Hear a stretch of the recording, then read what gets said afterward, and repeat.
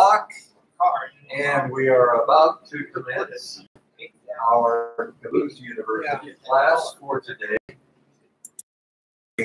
Kris Blackmarr and weathering of styrene structures. Everything you've ever wanted to know about that topic. Please join us in the northeast corner of the store.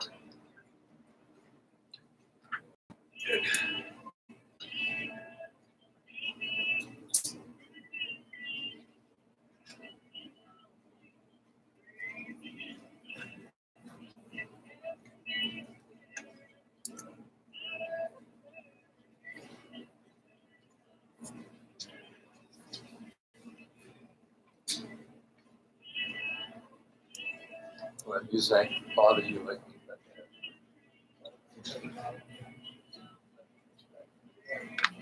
These guys get bored, they got something.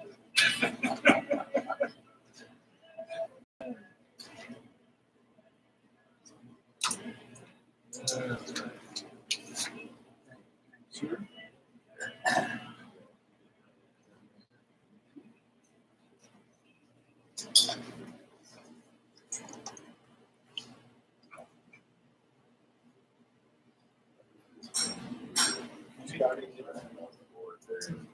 I'm not sure where I'm gonna start.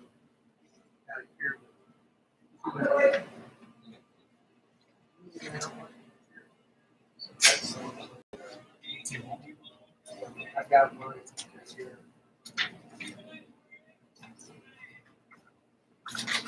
I ain't seen.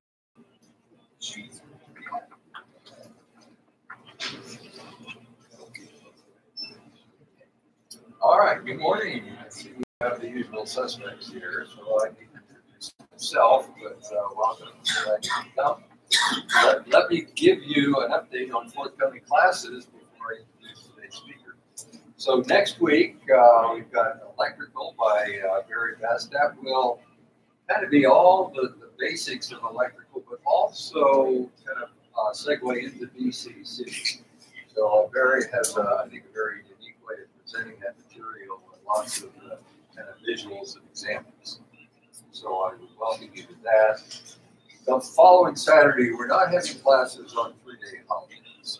Uh, Be out enjoying those three days, so there will not be a class on President's Day weekend. But the following weekend, on the 22nd of February, will be our own Gerald Styles. Uh, class on what he calls finishing touches. So you've done your, your track work and your basic scenery and your structures, but now how to really uh, make it pop a lot. That's what he means by finishing touches. So I invite you to that.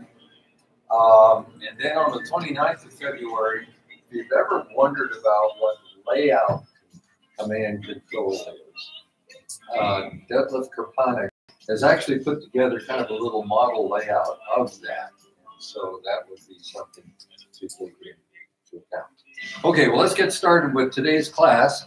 And so I'd like to introduce uh, Kris Blackmarr, who has uh, EMG medical background, and that morphed into uh, tech work with uh, HIPAA and lots of the regulations that uh, uh, now apply to that, uh, which probably has nothing whatsoever to do with his main talent. He's known throughout the community here uh, for his skills in weathering.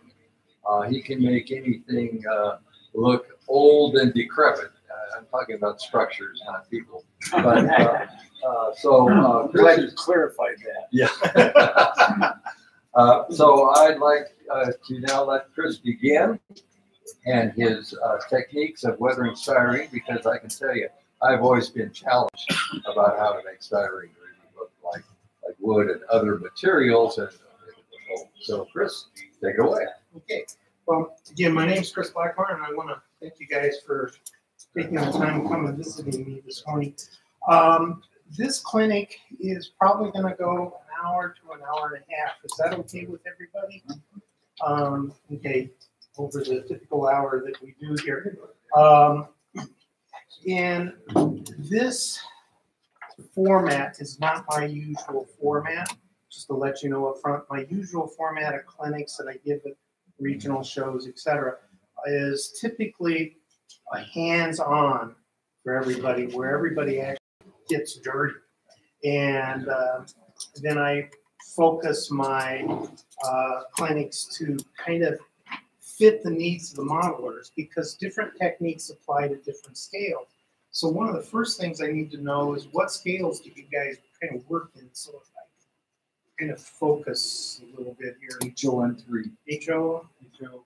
HO, N, N, HON three. okay, so HO, and I don't have any of the super big guys here. Okay.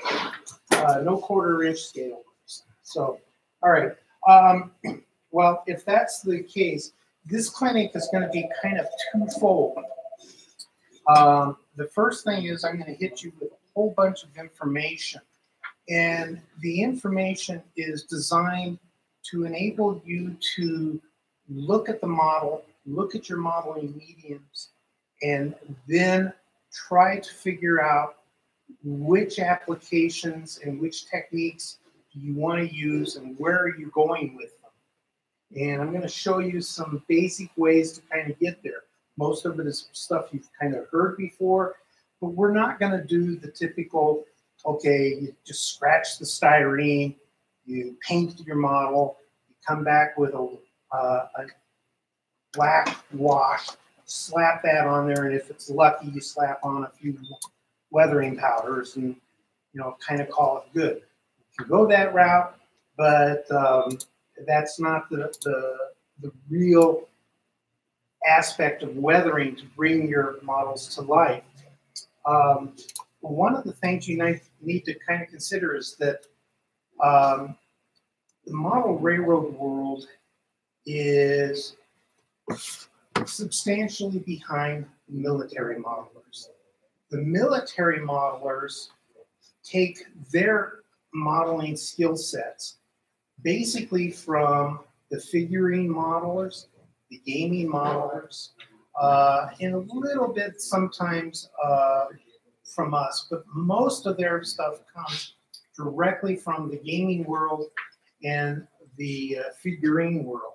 And then they take those things and they apply it to their models. The difference being is that um, in the figure world and in the gaming world, most of their models have lots of ridges and lots of um, points that are highlighted on the model per given. Whereas our models are flat uh, and they have big, long, flat spaces. And in the military world, they're kind of stuck in between two places. They've got big flat areas, but they've also got some areas that are pretty intensely uh, detailed. So they have that going for them. The other thing that's different uh, is that the gaming world, those models tend to get handled. The figurine world, those models are not handled. Military modelers, their stuff is typically not handled a whole lot. Uh, model railroaders, we've got feet in both camps. You know, our rolling stock is handled a lot, our structures are not handled. So we've got a different set of techniques that we need to utilize, different mediums that we need to utilize, depending on this model that we're building. Okay. The other uh, thing is that uh, model railroaders tend to use multiple different construction materials. I mean, be it paper, resin, styrene, wood, you know, we use all of those things and we'll throw them all together on a single model. You know, well, how are you going to get that to color uniformly across the model before you go in and start trying to tear it back down to make it look old? So that's a whole different set of techniques that we've got to look at. Um, so my whole point here is that um, I've spent probably past two years, probably 10 hours to 15 hours a week on average, just going through the military guys and the gaming guys primarily to kind of identify the techniques that they are applying to their models. And then I've tried to modify some of those techniques and bring them into our world. Um, so what we're going to discuss here today is base the basics of how to take some of those techniques and what they are. There's tons and tons of YouTube videos out there, so I'm not going to go into the fine details of how to do a pin dot or how to do a, a, a filter. But I'm going to give you the basic information to kind of get you going on this thing and the basic information how to look at your model and consider it because the weathering of a model really starts way before construction. So, um, but when you're building your model or when you're contemplating your model, there's three things or four things that you really need to consider. In weathering, always remember less is more. Um, it's real easy to overdo your weathering. So do it light uh, and repeat it ad nauseum if need be to get to where you want. You want to sneak up on things. Come in and think that one, maybe two coats is going to do it. You're going to need seven coats or more. Okay, and, and just bite off on that fact that that's what you're going to be doing. Uh, second thing is patience. Patience is the key to all your modeling. Unfortunately, it's probably the most difficult thing to master. Um, you know, we can be modeling for 50 years and we're still fighting patience, you know. so uh, just that's one thing you've got to remember in weathering. If you go into weather something, you need to give it, you know, more time than what your construction time is. Um, because it's going to take you a lot more time to create that finish. And remember, one of the first things people see on your model is that finish. Okay, they're going to see roofs, they're going to see finish, then they're going to look at construction. We as modelers tend to look at construction, then we go to our finish, and then maybe we'll think about roofs. uh, okay. Um, make use of photo references, uh, particularly if they're color, because you're weathering, and there's very, very subtle things in weathering that we're going to go through here in just a moment. But that's some of the things you need to look at. And then finally, consider your light source. That's really important. Everything uh, from scenery uh, to actually the, the barrel um, in this photo consider your light source. You know, for scenery, it's going to be, you know, is it the north side of the building or the south side? Because they're going to weather different on your telephone pole. Is where's the light source coming from? Where's the weather coming from? Because if you look at a, a telephone pole, one side of it's going to be one color, the other side is going to be a different color. Oftentimes, there's a pretty big contrast between the two. Um, and so, if you pay attention to that, uh, your scenery can go into uh, even down to like little streams of water. And when I say stream, I'm talking about the size of a garden hose or smaller. That's all going to have an effect on you know the moisture going through there, which is going to have a darker area. It's going to feather out into a lighter area that you're going to be doing both with uh, vegetation as well as the undercoloring of that uh, medium so that uh, your soils and things there are all going to reflect through your vegetation and add to the color of things. So you got to consider down to minute details what you're doing. Now, if you're doing a great big home layout, hey, you're not going to have time for all of this stuff. I acknowledge that up front, and you know we all got to acknowledge it. So go through, pick out two or three structures and the area around that structure, super detail it out, pay attention to lighting sources and everything else. And you'll find that people will tend to carry that impression because they'll focus on that. And then they'll tend to carry that impression through the rest of the layout, as well as into the back part of the layout where things cannot be seen as easily. Because your mind thinks, oh, it's done this well, and then it just kind of carries that over. So um, understand that and uh, acknowledge that up front. and figure out how much time you really want to spend on going into this super detailing stuff because of model railroaders, this super detailing stuff. that real time constraint, and we need to figure out the difference between the two. Um, the other thing that you need to consider when you're starting out to contemplate a model build of any sort is you need to consider what is the finish that you're after? Where are you going with this thing? Because all of that is going to be built in up front on what you're doing. Say you're doing a wooden trestle. Well, even before you cut that first piece of styrene, wood, whatever, you're going to want to go through and grain it and use whatever techniques you do to add wood grain, uh, knot holes, whatever. Excuse me. Um, and then you're going to go through and do your pre-shading or under shading if you're getting into that type of uh, detailing level. Um, because if it's a creosote type thing, then you may want to come through and add some undercoating that or underpaintings that are kind of a darker in color because that's going to come through your other layers of paint later on. Um, and then you'll want to go through and start your construction. Um, so you need to consider where you're going with it, but you need to step back even one more step and consider just what is it that you're really after. So if we look at this kind of model here, I'm going to start throwing out terms and we'll go through them here in a little bit. Um, I'm going to focus just in on the woods here.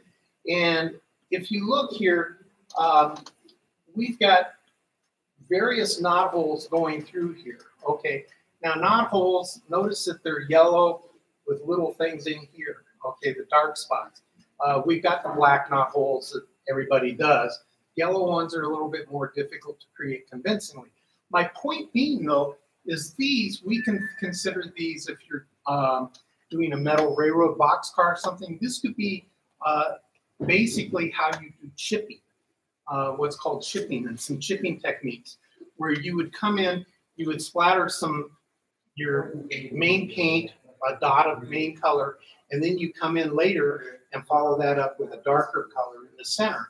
And then you would feather out the, the edges. So techniques that you can paint right on, you can paint your knot holes right onto the uh, styrene, um, but you can also use the same basic techniques to apply weathering and chipping and things like that.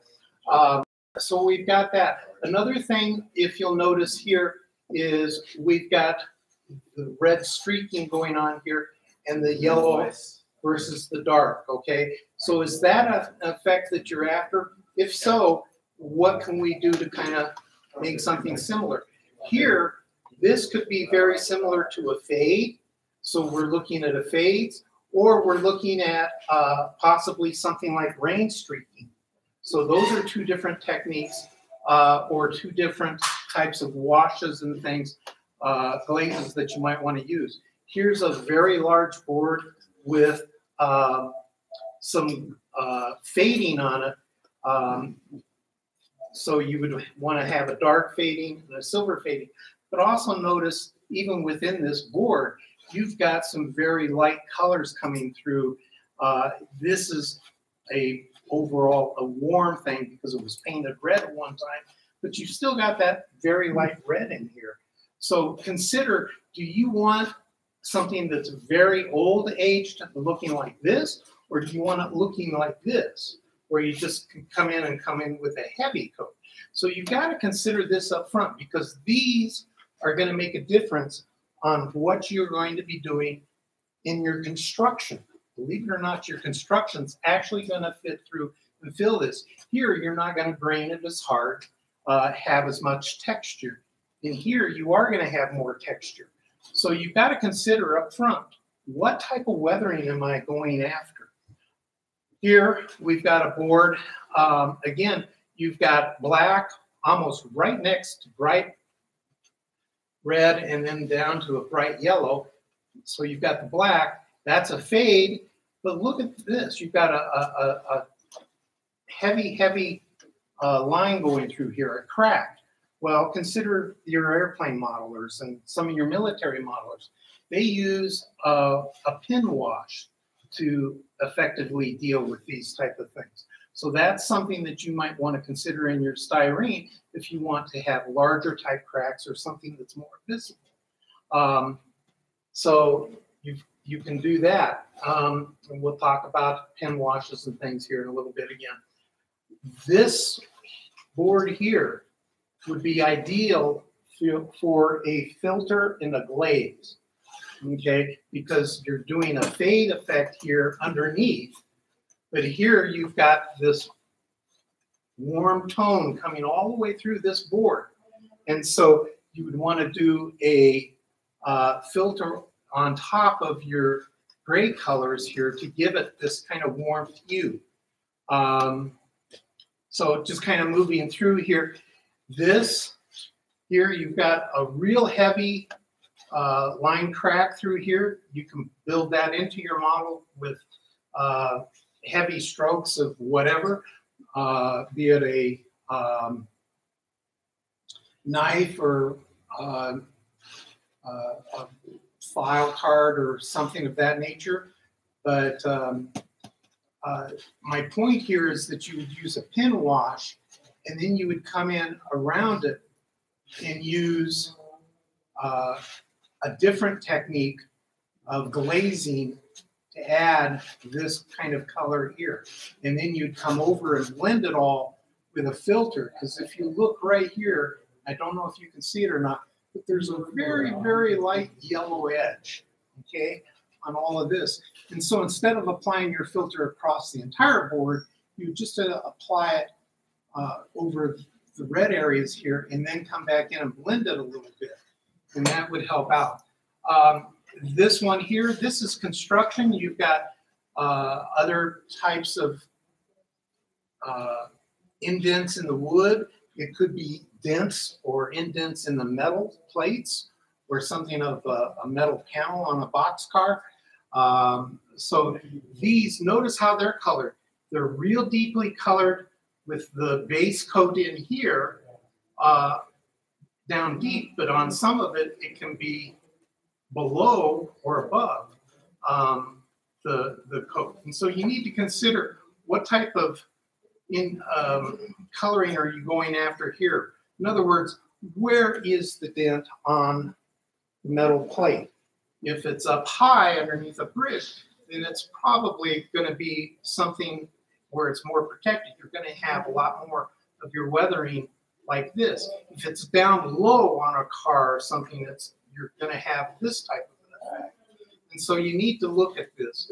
Um, here you've got, I just wanted to show contrast. You've got a single board here, but notice you go from white to black, you've got a thin white, then you've got a red, and then it's fading back out to the blacks and silver white.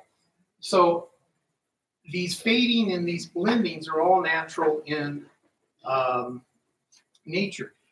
This board here represents something that is more painted, like what we would normally just go through and paint our models. Well, notice that your weathering, the heavy grooving and everything else is not as strong on this. The only ones that are really typically there are the very heavy cracks and things of that nature. Um, You've got back on this board a gray effect, which would be weathering. You could consider this a grain effect for like the dirt and stuff on a uh, box car panel or something. Um, but this light grain effect is something that you've got to get real used to doing. And that's done with a glaze. I also want to point out when you're looking at this, notice this board right here. And notice it's painted on the top, but it's totally bare on the underside. Well, are your metals and things of this nature that you're doing on your model, are you looking at that type of thing? Is it a structure where, you know, board and bath and how old or new was the structure? Because that is going to reflect it. If it's all painted all the way through, it's going to show something as a more new better maintained type of structure. If it's white like this, it's going to reflect uh, more of an age structure. If it's you put in a dark wash on the bottom side of this, then you're going to end up with a more shadowed effect, which will bring out this board and, and highlight that board more.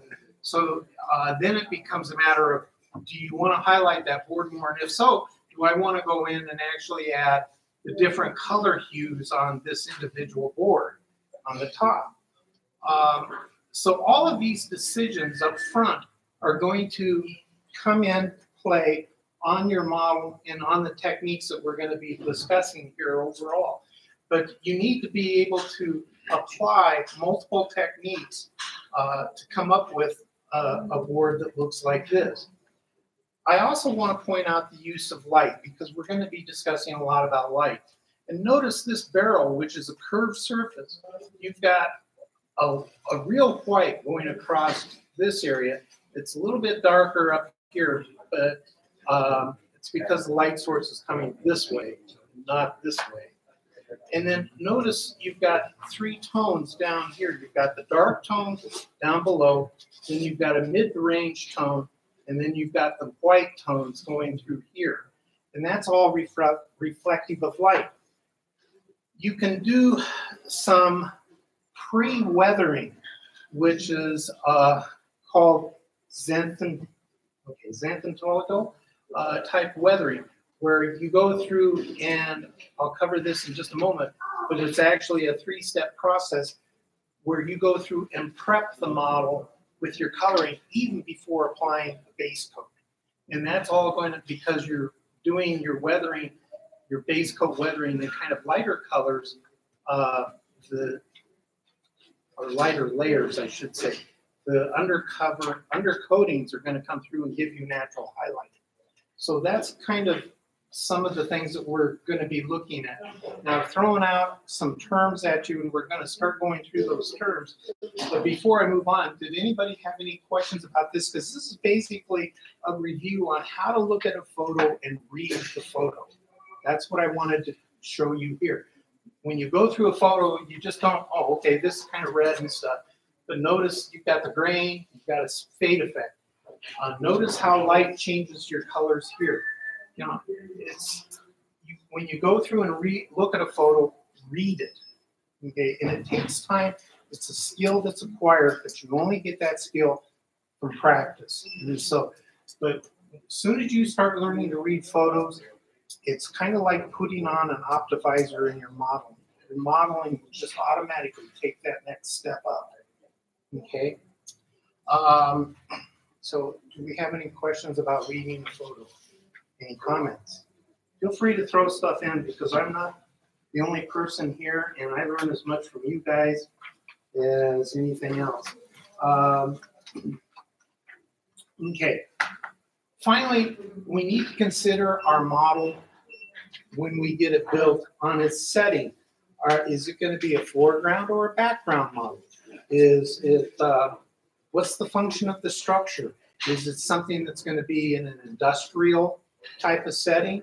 Uh, is it a farm or is it a bridge? Because depending on which one of those three, that's going to totally set up different types of colors and functions as far as the painting techniques that you're going to want to apply to the model. You need to consider also the material that it's made out of, and the, as well as what material are you trying to represent. So styrene is wonderful for representing metal. It's fairly easy to get it to look like metal. Trying to get it to look like stone is a little bit more difficult. Wood is kind of in between the two. The point being, though, is styrene is very, very versatile, and you can utilize it across the board to reproduce anything. You just need to think about reading a photo with whatever that material is that you're trying to get styrene to represent, and then applying the various techniques. Uh, you need to also consider your model when you go through and before you build it. How is the model to be viewed as far as its age? Is it well maintained? Uh, you know, because if it's a new model, you're going to build it with tighter joints. You may not want to have broken boards on it. All of these, again, are weathering things that you need to consider even before making that first cut. Um, finally, you need to consider the final finish that you're going after. Are you going after a basic finish that's just kind of got some chipping? And if I can come over here for a second real quick. Um, I just kind of want to show you this box car here. Notice that we've got basically a weathering process going down here where it's all kind of grayed out. These three panels are kind of grayed out from dirt, dust, and rust. Okay, but look at this panel. Okay, it's real light and it's not covered except notice here it's got a real dark uh, shadow to it, a dark area. You've got another dark area up here. So you've got dark versus light, contrast. Weathering is all about contrast. Make use of contrast. And that's probably a golden rule that I have not put in there, but you might want to consider it as such. Um, the chipping effects here, we've got a light with a dark center and then a little bit of a, a fade rust or a fade coming down a, a paint fade, excuse me, rain fade type of technique coming down. Here you've got a different, what I would call a filter, because what you're doing is just applying a filter to a little given area, so it would be a targeted filter. Um, up here, you've got this V of white. We're talking very, very subtle. I don't know if you guys can see this or not. I'm making the assumption that you can. But you've got this white V with a, a black, two black spots and one going across the ribs and one right up here. Um, so these are all things that you need to consider. You've got lots of little tiny chipping and stuff going across, and you've got some highlighting here, white highlighting here. You've got shadow underneath here. Again, highlights here. But notice these. Um, you've got, I don't know if we can get them, but you've got highlights. The, I don't know. If we can't get it, we can't get it. I can discuss it uh, kind of going up ahead. But notice where your light source is coming from. It's kind of coming down at an angle on this, making it so that the tops are light and the undersides are dark. That's something that you want to consider for your layout. Where are your light sources? And, and make your painting of your cars, rolling stocks, whatever your structures, uh, according to the light. And so consider your light always. Um, okay, the final weathering finish techniques, you go through and you apply what I would consider uh, your basic weathering, your basic undercoat, your basic um, overall big gross effects, such as these here. And then you finally get into some of the other final detailed items. Sure, sure. Um, and that would be things such as your splatter, mud splatter, and things. And when you do mud splatter, consider the soil colors on the rest of the layout that the car may be moving through. If it's a, uh, a car, um, if it's a structure, consider the soil around the structure. What color is that? Because that's the type of colors, the lighter hues of that, in some cases the darker hues, are going to get uh, deposited on the base of the structure. Rust stains, you know, uh, water stains, whatever, uh, however those come through. Um, and you have to consider the use of the mediums that you're using to create those effects. Uh, you might be using turpentine or water to create your, your uh, running effects. Um, so those are all kind of things that you can come through. Other mediums that you might want to be making use of or considering are felt marker pens. And when I say felt marker pens, I'm talking about, you know, things like the Prismacolors. Um, these have both um, a fine tip and then they've got the broader tips. Come on, open up. The broader tips. My point being is that you can buy a color like this, which is called terracotta. Don't let the names throw you. It's the color that you're after. This is an excellent marker for creating rust and rust stains and things of that nature. And if I come in and apply this to a coat, as long as it's kind of a glossy coat, that gives me a couple of minutes to come back in and apply some solvent to this and create some runs with this marker. So I could get my base run coming down with my fine tip and then come in and feather that with uh, some solvent. And that'll give you the colors going around the sides. Um, another reason, and the reason I have these, is for doing something like bricks. Uh, a lot of us are building structures that have styrene brick structures. I'm going to show you where you can go through and utilize these things in making um, different colored bricks here in just a moment. Um,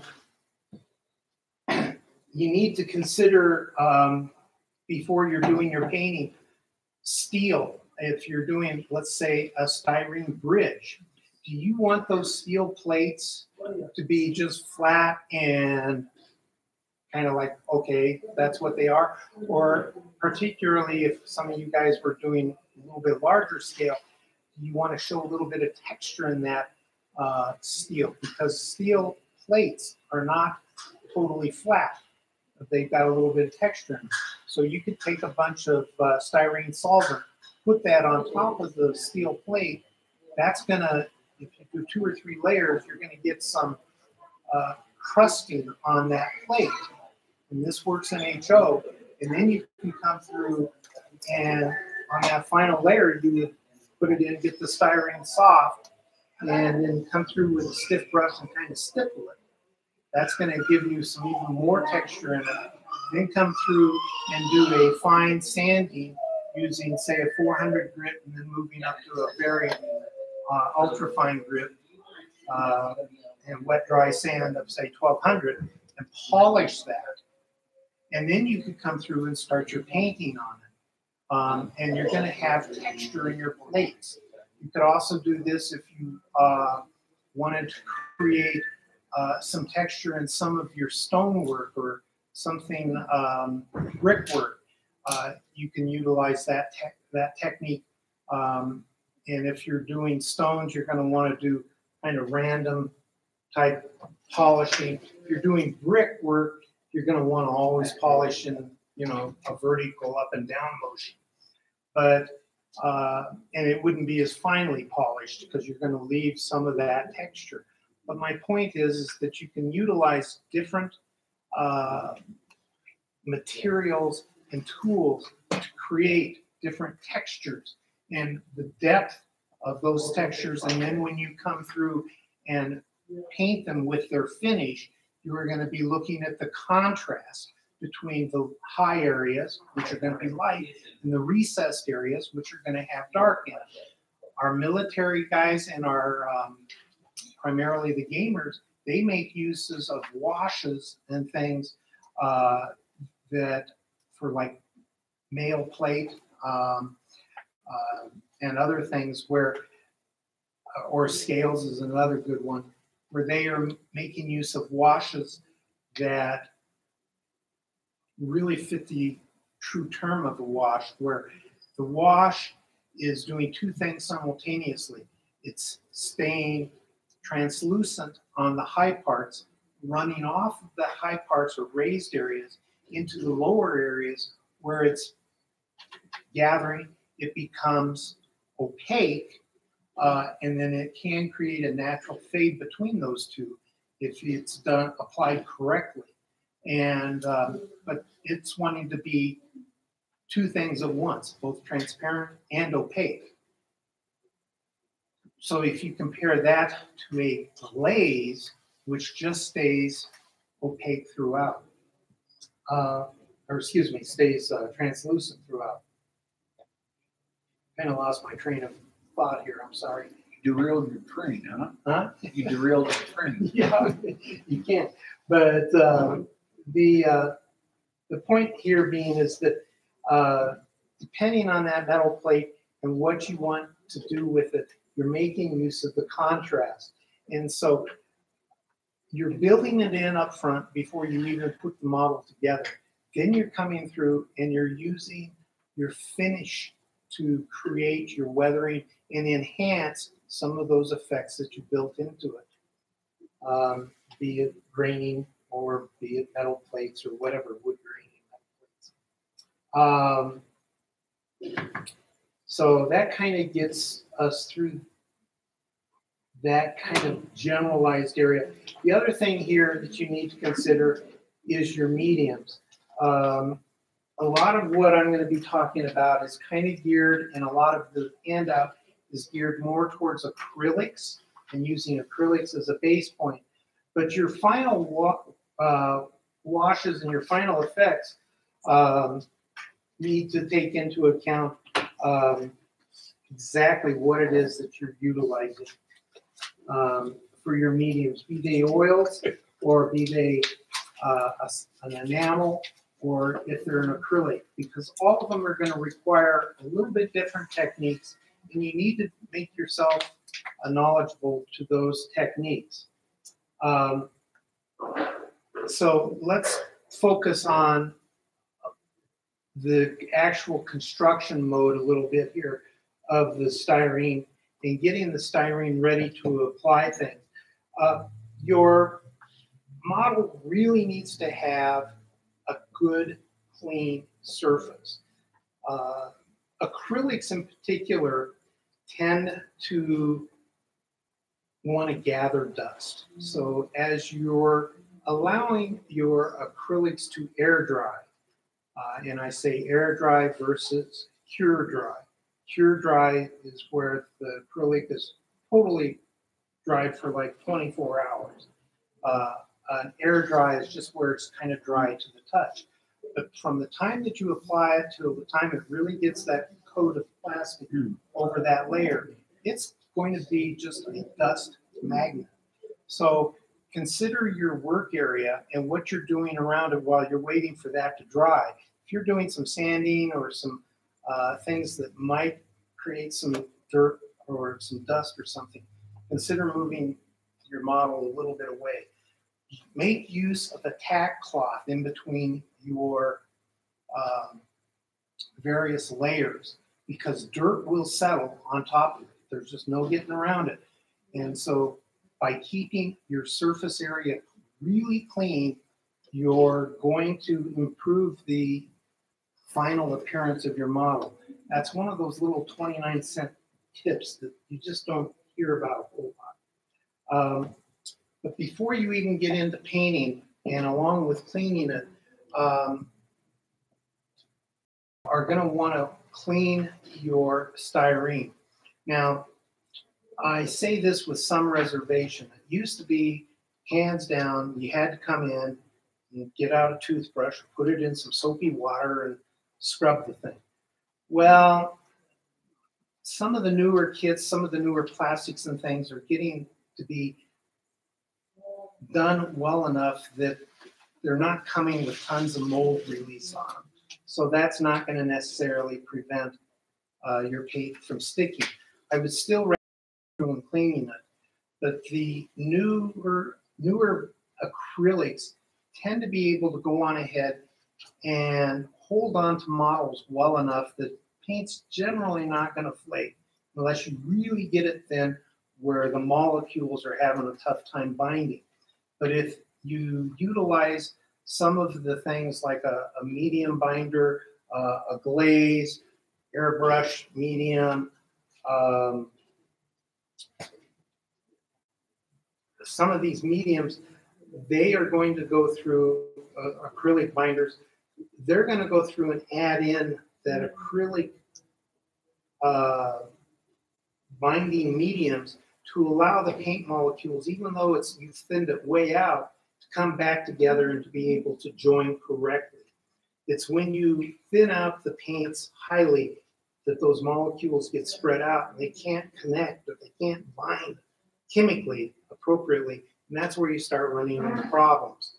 So, um, but if you apply it that way with the binders and things, it's probably going to work okay on top of a, a model, a styrene model, unless you've gone through and put Vaseline on it or something like that. You know?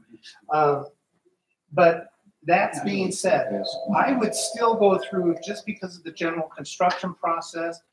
I would go through and you know dunk it in some water, throw in some vinegar. Why vinegar? That's a new one. Vinegar is gonna lightly etch that styrene and help that give something for that acrylic paint to stick to. So the light etching there will help. Um, if you don't want to do that, you can come through with a real fine sandpaper and just kind of rub it over it, and that'll roughen up that surface a little bit.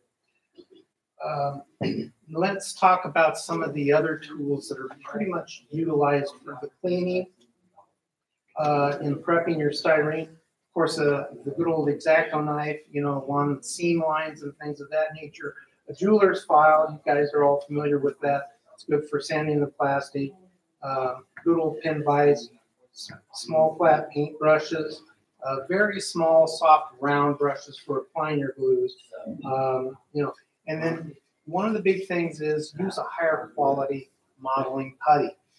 We're all going to be going through, and when you're getting into some of these finer modeling techniques that you're going to be applying, any irregularities, any holes, anything is going to show up. So if you see anything like that on your model surface, go through and fix it before you even prime it. And then once you do prime your model, take a good close look at it because you're going to find any effects uh, from, or defects, I should say, from your uh, modeling skills, and you'll need to correct those prior to moving on. So don't be afraid to go in and uh, rework over your primer. Just because you primed it doesn't mean you can't go back and rework things. Um, a lot of guys have a real problem removing things from styrene sprues, and that comes through on their finished models, believe it or not. And so when you go through and remove things from the sprues, take the time to do it correctly. And I've kind of given you an outline in here, but basically you just don't go in and, and cut it, you know, off the sprue and then, you know, got a nub there and you kind of cut off the nub and call it good. uh That's not not going to cut the mustard. Um, take some time and really kind of do it correctly. One thing that I don't have on here is if you've got a real fine part, particularly if it's a longer part, um, say a, a, a brake line, um, cut both pieces of the sprue so that that brake line is just kind of hanging there. Otherwise, if you try to go through and cut the sprue off uh, or cut the brake line or whatever that long piece is off, one side's going to have a lot of tension on it, the other side won't. And then when you go put in your nippers or whatever, you're going to end up snapping that in half. But if you cut the actual sprue to relieve that tension, that will enable you to cut that off more cleanly and get closer to it. Um, so that's kind of about that. Um, and uh, let's see here. The next thing is uh, I had to show the uh, pictures, but I'm not going to go back to that because we've kind of already done that. Um, yeah, primers. Um, primers. Try to use them neat or right out of the bottles if at all possible. You may need to thin them, thin them a little bit if you're shooting them through an airbrush. Um, but primers are kind of a unique character. Um, be careful if you're going through and using primers like this. Um, a lot of these things, even though they're labeled primers, they're not. They're really nothing more than gray paint. Um, so uh, always look for um, something that's really dry sanding, that's sandable. That's kind of one of the giveaways. Make sure that it's it's not just a, a, a gray paint um, on that. So we've gone through and used the Krylon there on some of the things that we're going to be doing here in just a bit. Um, let's talk about pre-shading, undercoats, washes, and glazes. And I'm going to kind of step up the pace here. But when I say this, and this is where it gets really difficult introducing you guys to all of this stuff. A lot of these terms overlap, uh, the techniques and applications overlap. Uh, there is no one set way to apply it. I can't come in and say, first come in with a glaze, then you come in with a filter, then you're going to come in with a glaze, and then you're going to come in a, a, a, a pen line filter. You know, I, I can't do that because how you go through construct and whether your model is going to be different, not only for the materials of the model um, and one, but styrene has a highly reflective uh, property to it. And so anything that you paint on it down below, when light comes through those layers of paint, it's going to get reflected back out. And so your underpaintings, your undercoatings, uh, your base paintings uh, of your base coats, and then your layering, your weather layering on top of all of that, all of that is light going through, hitting that um, styrene and coming back out. And so you need to consider how that is going to affect that light coming back out. If you put on a dark undercoat, then that's going to reflect totally different than a gray primer. So um, we'll cover kind of that. So when I'm talking about these in this handout here, understand that there's really no set process. It's something that you're going to learn just through experience. And to get that experience, you just got to challenge yourself and say, I want to learn how to take my weathering to the next step. That's what the military guys have done for a long time now. They just automatically take that next step. Um, we, as model railroaders, are still in 101, whereas they're in three to 400 level classes. Okay. Um, and the only way you're going to get up here to the three, 400 level classes is to step out of the box and try some of the other techniques.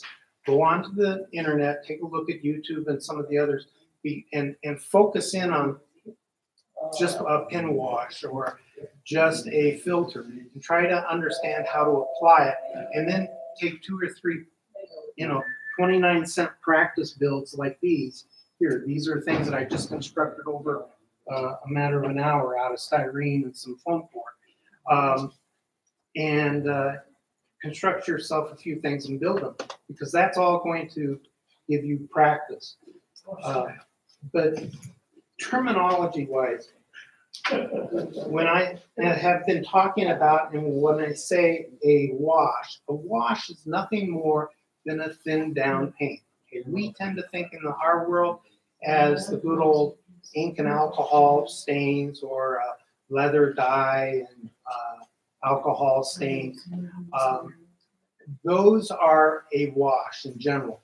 Anytime you're thinning something about more than one to 10, you're tending to get into a wash. All right. Um, a glaze, which uses a glazed medium, and the reason that you need to use that glazed medium in this is because the molecules of paint are starting to be drawn so far apart that they cannot chemically combine correctly. But a glaze is nothing more than a thin down wash. Okay, um, and a glaze is used to make moderations in tone. Okay, uh, so um, if you wanted to uh, have some real highlights on a, a round area, say a bell. You could use a glaze. Another place where a glaze would be real handy is creating a dust effect on the side of a railroad car uh, or on the side of your structure. Like we saw that wood that was grayed, uh, that a glaze would work there. You could, uh, a filter is nothing more than a thin down glaze. So you're getting into, you know, we're talking one to 30, one to 40 for this type of thing. And a filter, when you apply a filter, you're really doing the fine touches to a nuance. So you've gone through and you've gone and highlighted your edges on on your uh, little structure here. Okay, this styrene structure, if you look at the now, this is not totally covered over yet, uh, still real soft. But if you look real carefully and you'll have to kind of twist it, you'll see where the edges on the boards have been highlighted. But they also have a filter applied to them if I just left the highlighting on there, they would stand out and be very stark. But by taking a filter and applying the filter to the entire structure, if you will, then it blends everything together and it takes away that sharpness. But if you are kind of focusing in on it and really focus on it, you can see those white edges. When you look at that, and if I didn't bring that to your attention, you probably wouldn't notice those sharp lines on the edges. But um, you know, consciously you would not notice that. As a modeler, you might, but the general person won't. But their eye and their mind notice it. Okay, and it picks up on it. And that's the type that they carry over to the rest of your modeling. And so this is why it's useful to create a few models where you take it to that effect because it goes through and shows that effect all the way through. Um, the uh, other thing is, is that piece had a few other techniques on it. The weathering there, if you notice on the inside of the boards outlining the structure, are colored kind of gray. The outside is colored kind of that buff sand color. That's because I used two different uh, techniques of dry brushing. Uh, one of them was an outside stroke going in and a stiffer brush. And then on the inside, I used a softer brush going only from the inside out. So basically across the entire boards. And so I got two different colors. But prior to doing the dry brushing, I went through and I used a pin wash, which is where I applied a wash to the underside of all of the boards going around into those seams, much like the military modelers use in a uh, aircraft. Okay, um, and I don't know if you noticed it, but if you'll think about it, you notice that the black and stuff was kind of feathered in and, and, coming out. That's part of the pin wash technique. You apply the pin wash and then you go in and clean it up a little bit. But in the process of that cleaning, you're also feathering. And, and so it feathers it out and makes it much, much softer uh, to explore and interact with. Go on ahead and throw it, it's okay. Um, so, um, if you need to, use a toothpick or as a handle. I use these type of things. Um, I also oftentimes will go through and I lost it. I know I've got a handle here, but uh, I use a little, here it is, piece of wooden dowel, put a hole in, and I can take my toothpicks and instead of making my fingers tired this after a couple hours, put it in, put them into something like this, and it keeps my hands from getting really tired. Okay, um, just 29 cents, but you know, as we get older, our hands get tired of holding stuff all the time that's really small. Um, primers we've already talked about is neat. Always apply your layers very thinly. Um, use um, your undercolorings and your primers to your advantage. Um, let's talk about a, a tank car as an example, or a metal tank. If you come through and prime it with a white or a gray primer, you're going to have one effect when you paint that metal color over it, say the or the steel. Okay, light's going to come through, it's going to hit that lighter colored surface and come back out. How's a mirror made? They paint a dark, almost black on the back of it.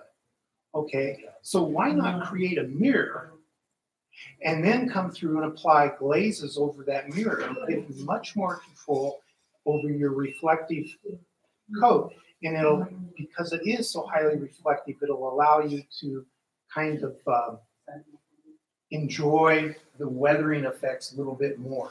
Um, and so, you know, use a primer. This is styrene, and this is a gloss black primer. And we'll use this uh, here to create some wood in just a moment. If you wanted to, you could also go through and use inks. Um, there's dark colored inks and things of that nature. Inks will also work, and in this application. Um, my point is, use something dark, and you're gonna in- increase your reflective index uh, through the layers of the base color as well as your final varnish uh, to make it more silvery. Um, if you're doing stuff, consider paints like smoke. Smoke's got a brown tint to it. When you feather that out highly, you're going to be getting into the yellows and some of the oranges potentially. And that will help the blending for something like your rust effects. Uh, it'll also uh, help if you're doing woods because it'll make the, the wood appear much more lively. Um, Iraqi sand, horrible name for us, but uh, as, mi- as non-military guys. But that buff color, that's what's been used on the edges there. So that works really well. Uh, think about your coloring as you're going through and uh, doing your shading up front. Your Zenithal uh, highlighting, which I discussed earlier, is actually done up front before you actually start your base coat. And basically, all that is, is it's a fancy term for really focusing on, on your light indexes. So things like that barrel. What you do is you have your model here, and you'll come through and you'll paint it a dark color, okay? Typically a brown, dark gray, uh, brown black, okay? And you prime it, the whole model in that color. Just go through and you prime it. Zenithal coloring, by the way, pretty much only works with an airbrush, but um, you can do it with a brush, but it's a little bit more tricky. So you come down. Kris, and- Hold, hold it still so Gary can focus. Oh, in I'm on it sorry. I didn't- can See it. I didn't realize you were trying to do this. Yeah, actually, Uh, if I'll you, put if it you just, down here. yeah, there you go. Um, So, sorry. Here, you want to follow this? Follow this.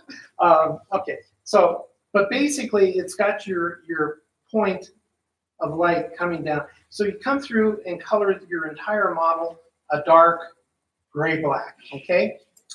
Then you take um, a spray coat, and this is going to be a medium uh, gray, and you come through and you spray it, the model, from all the way around from like a 45 degree angle.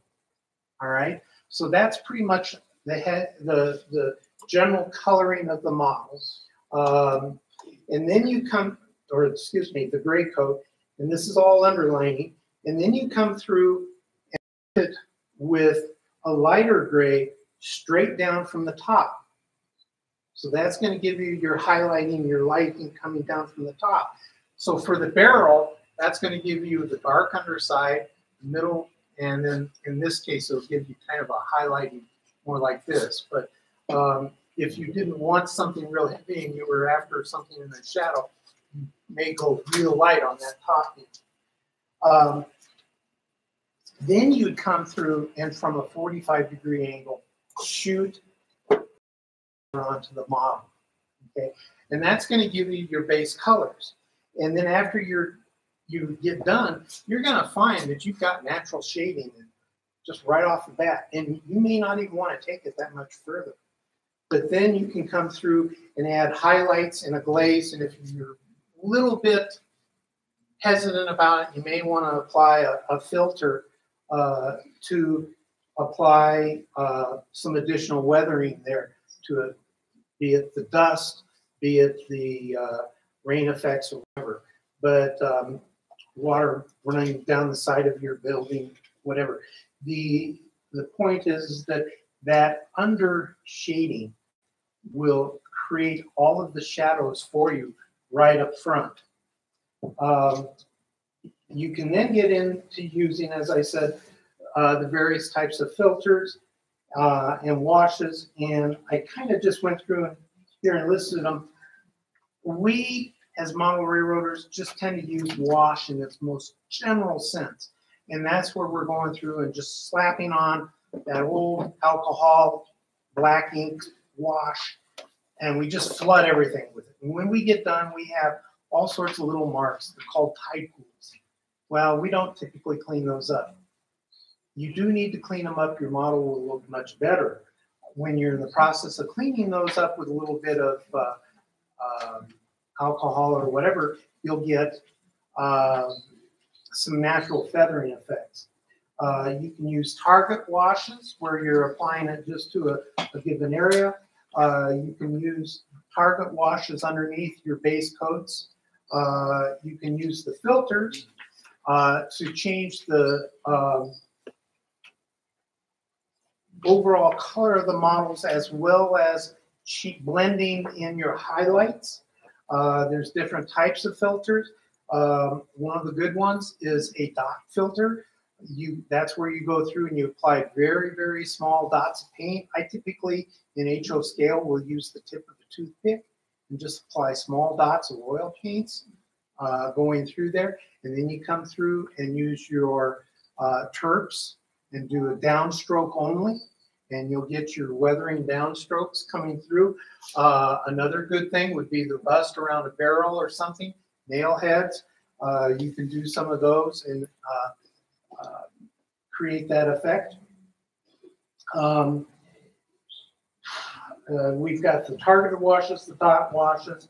Um, you basically, though, uh, when you go to try to do some of your filter effects, in acrylics, always try to use water as a medium. Don't use your thinners, your acrylic thinners.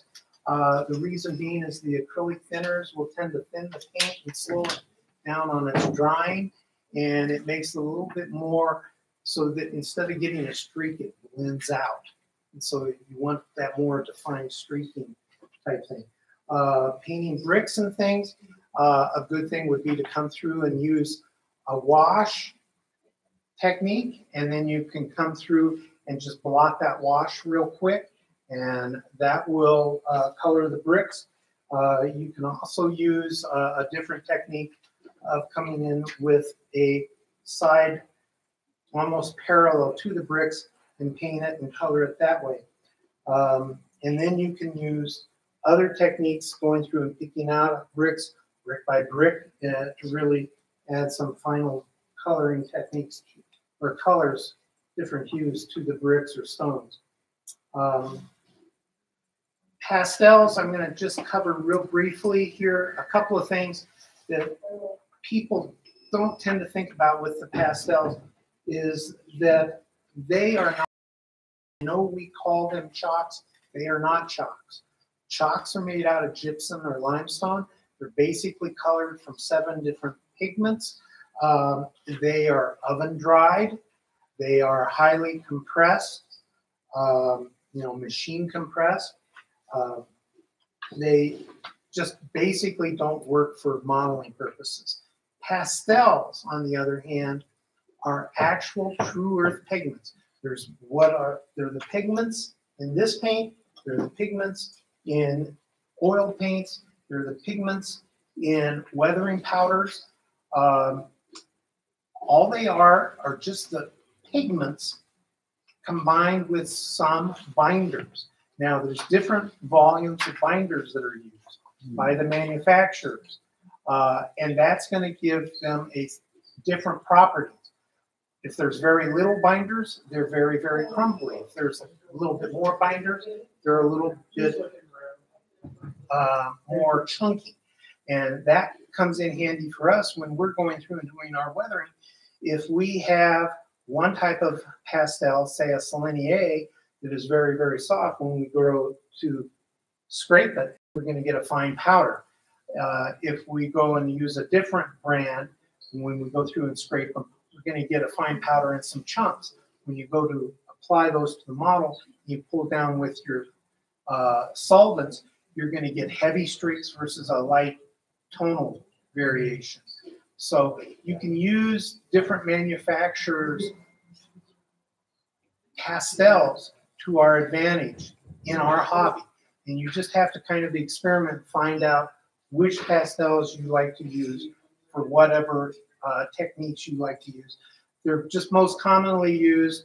People just take them, scrape them, uh, and then they will, or they grind them in a coffee grinder or something, and then they will go through and apply them and apply a solvent to them. Now, again, because pastels do not have any binders, they don't tend to stick. Okay, uh, so we'll talk about that more in just a moment here. But returning back to the pastels, you've got soft pastels. You've then got what's called an they require solvents. You've got pan pastels, which are basically pastels with very little binder, but they've been lightly compressed into a container. They're great for using, uh, creating glaze effects, basically. Uh, so dusting effects like uh, a, a, dusty side of a car or a dusty, uh, you want to, uh, some peeling paint, but you also want that paint to kind of look chalky. You go through and uh, apply uh, some dust. Um, you've got the pencil pastels if you need to do some fading or some fine lines, uh, some uh, soft pencil pastels. Soft pencil pastels are different from your colored pencils, like Pantene colored pencils. Those are totally different animals. Um, you've also got what's called the weathering powders, Bragdon, and those guys. Those are nothing more than either Roundup pastels or earth pigments that have some dry adhesive that's been applied to the mix. That dry adhesive is typically pressure sensitive adhesive. So what it, the advantage of using weathering powders is that because the chalk or pastel tends to not bind to surfaces and styrene and pastels hate one another. Um, what it tends to do is give a little bit of a adhesive so that that does that dusting powder does not come off as easy. Um, that works for us in the handling of our models, rolling stock. Um, it can also be an advantage to things like, um, you know, the airflow over your rolling stock. The downside of it, eh, well, if I get a little bit too much here or there, it's really, really hard to remove. And it doesn't want to come off as easy. So you've got a trade-off here. Um, pastels, regular soft pastels, you can put them on. If you don't like them, they come right off until you actually set them on there. Setting a pastel on your models is a whole different ball of wax people got into it and they started telling okay, get out my, you know, can of clear coat, start spraying away dull coat. And their pastel is gone. You know, it's like, well, varnishes and stuff take up those pastels. So you got to be really careful. Now, you can actually use that to your advantage, um, like an HO scale. It's ideal decant some of that dull coat, or you can actually buy the dull coat in a bottle. most people don't know that. But, um, and then dip that into a, a, brush, into a little bit of a, your liquid dull coat, then into the powder, like I use a rust powder mix, and then stipple it onto, say, a smokestack or something, um, doorknobs, whatever and it'll give, when it dries, a really crusty, textured effect. And in HO scale, you can actually see that textured effect. And uh, it's, it's really, really handy. Uh, you can paint it on smoother uh, to apply it to things like hinges and stuff like that in HO scale. Um, so that kind of is, is a view on the uh, pastels. Um, craft versus uh, artist pastels. I've got some craft pastels. Um, these will work for most model railroaders, but if you really want to get into a better quality pastel, if you're planning on your models going about 10 years or longer without color changes, get into the fine art pastels. Uh, and uh, you can go to any fine art store or online to Dick Blick and buy fine art pastels, and you're going to find that they are of a higher quality pigments. They've got higher quality binders in them. They've got um, uh, they they scrape or chip a lot easier. Uh, and they just have brighter hues, so you'll get much richer colors with them. Um, Then the only other thing is, uh, that I'd like to throw out on this before I get into a couple of real quick little demos, um, is and I've got to say this with a caveat because I'm still playing with it and I'm still researching it.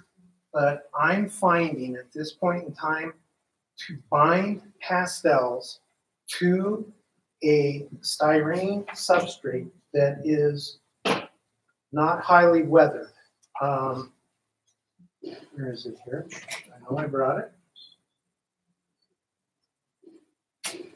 Um,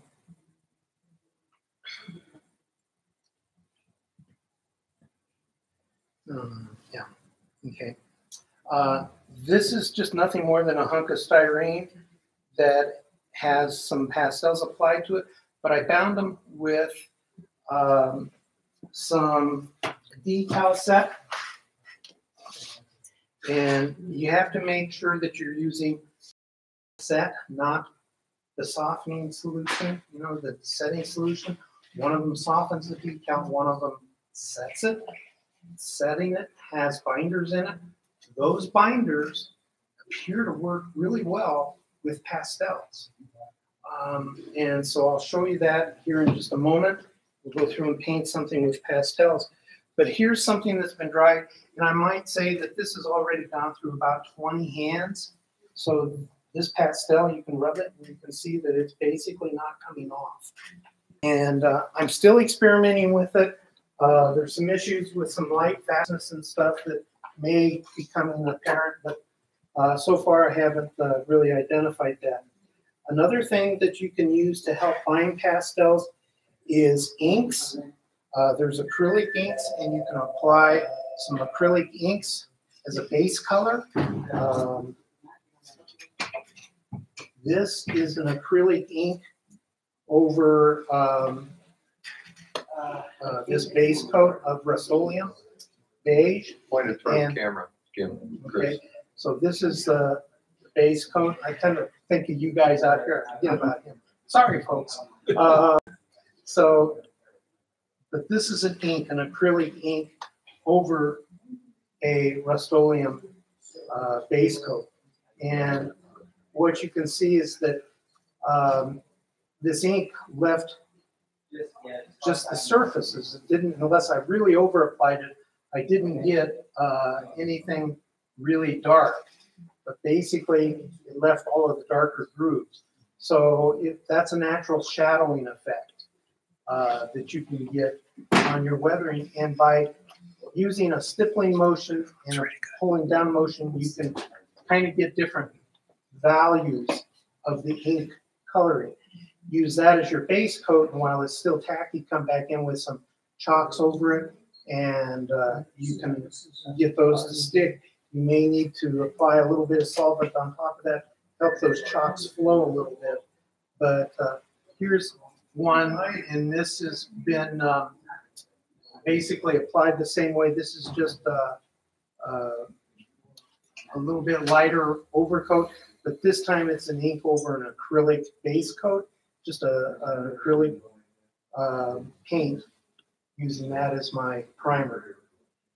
Um, so, but you can see between the two here, the value differences of how that ink is reflecting um, the undercolor coatings.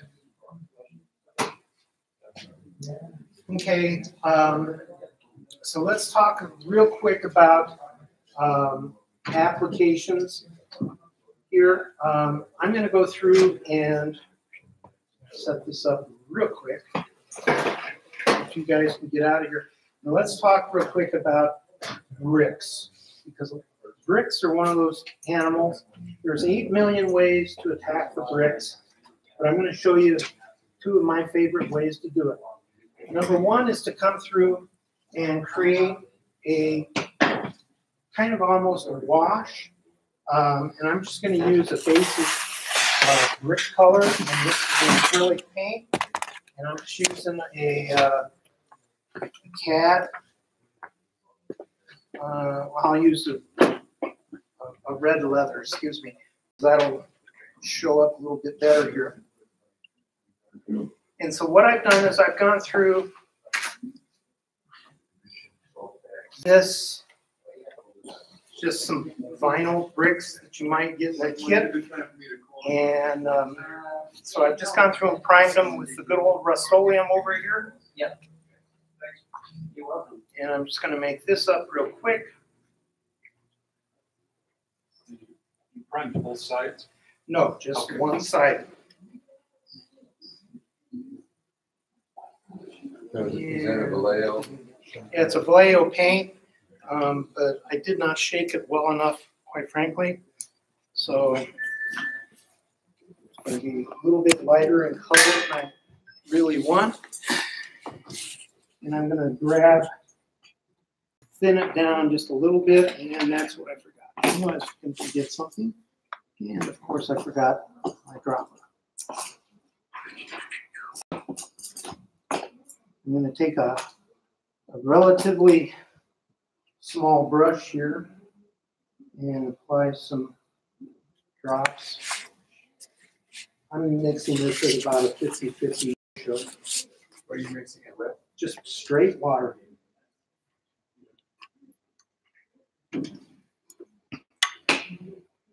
Normally I go through and will not do this, but I'm gonna do it for the sake of time here. And I'm just going to come through here and use my paintbrush to mix it up. And so what you're after, I don't know if you can see it, this is a little bit thick for a wash. Or um, you see how it kind of flows down, but it's still pretty thick as when it's at the top up here. So um, if I come through, but that's that's about the consistency of a wash right there. So kind of milk. And I'm going to kind of get most of it off my brush. Excuse me. And then holding my brush, normally this is done flat. Holding my brush kind of flat, as parallel to the surface as possible. I'm going to come through and then just lightly stroke down okay, in one direction only across the face of the bricks.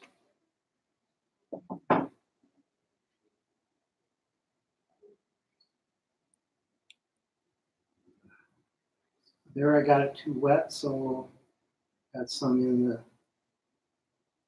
mortar lines, but I think you can see the effect that you get here as you go through it. And you may have to do it a couple of times get your colors, but as long as you don't get too much paint on your brush, you where you will experience this, um, you can use this method of coloring the bricks and leaving your mortar lines. And so, um, unfortunately, color is not quite coming through as strong as I wanted it. But this is one way to create that, that effect. I think everybody gets the general idea here. If you get something like this down here, there is a way that you can fix it. You would have let it dry and then apply a wash. And the way that you can apply the wash effect is if we go through and grab, you know, I had another piece here. Wash. And you guys probably can't see this. This is some more brick. There is brick on this.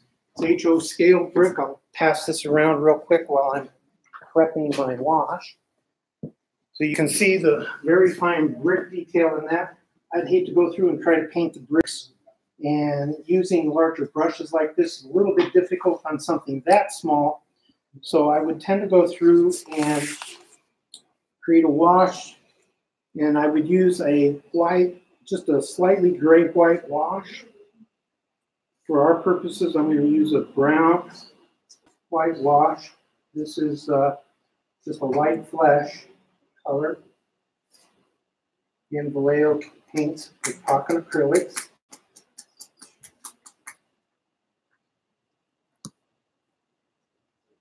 And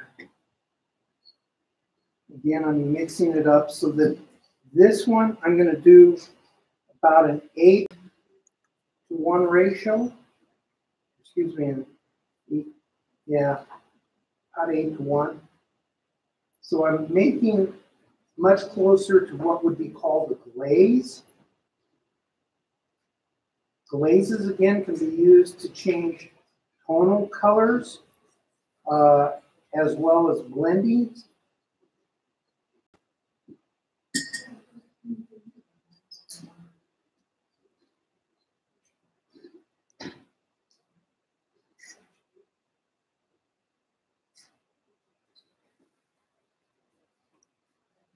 And normally with a glaze, you're going to add a little bit of glaze medium.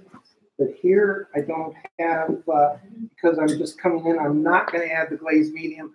The glaze medium would make it flow out more, but I want it to flow in this particular case from the higher surfaces to the lower crevices. So this is what I mean. You've got to consider what it is that you're doing.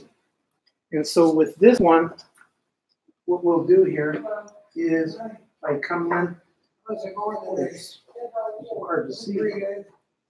Make sure I'm on the right side.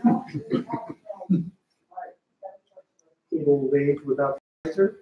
You just come in and um, um, you can apply it straight, which is one way, and it'll flow into the areas here and give you your colors in the mortar lines. Excess, just go through and dab up. Now, if you have to come through and color this prior, uh, like I chose this red just because it was easy. But if I was to color this thing a different color, then I would apply a barrier of some sort, dull coat or something, prior to doing this wash. Otherwise, you're going to get just a mishmash of colors over time. But you can kind of see what's going on here. Now, the problem that I don't like about this is that you have uh, wash still on the faces of the, the brick. So uh, to give it a little bit more definition, come through and dab it. That one dabbed it too hard, soon. Normally, I allow it to sit for about three minutes, four minutes before I apply it. Was hoping to get some other contrast for you.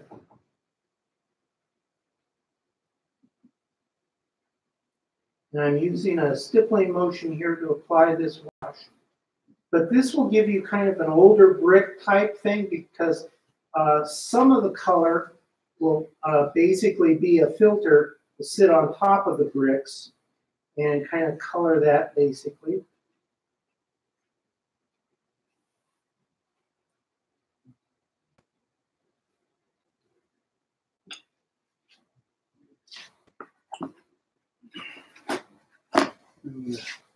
Just kind of come through lightly dab it here. Another towel. I brought a texture towel instead of a t-shirt rag. T-shirt rag works the best for this.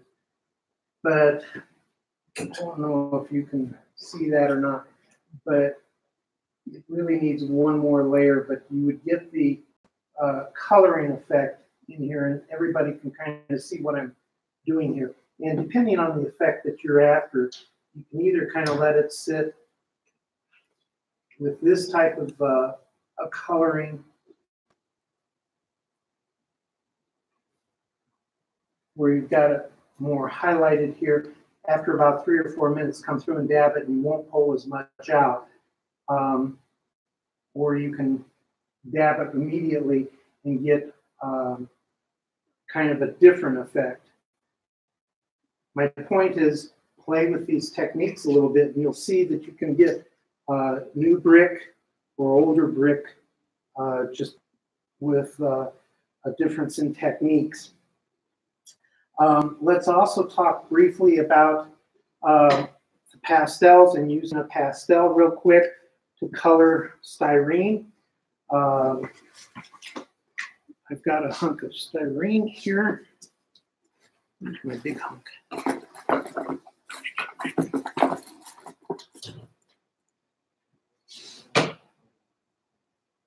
Lost my big hunk of styrene. Where'd you go to? So if I can slide there. That's what I'm looking for. Thank you. It's hiding from me. Okay. Um, got a hunk of styrene here. Again, I primed it, held it in the corner with my thumb.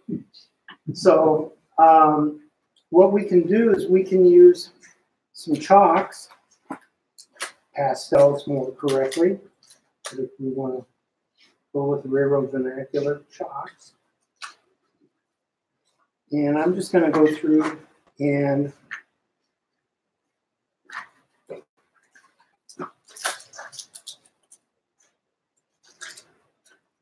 try a few real quick.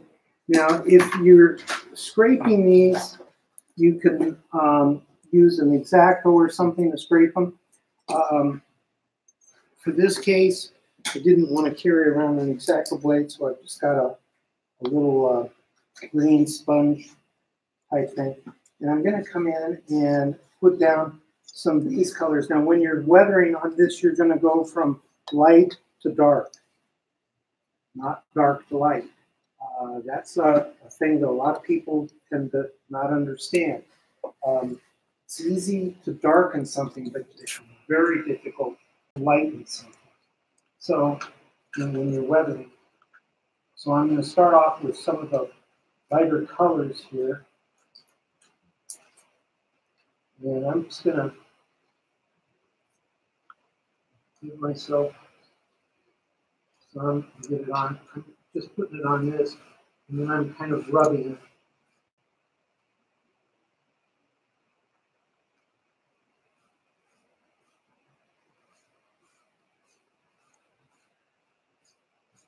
Jerry's gonna shoot me for getting this on his paper. Okay? Like to see it's being used. And then I'm gonna come through with a little bit of a different tone. Now I got a yellow brown tone on there, so I'm gonna kind of go heavy in the browns a little bit with this.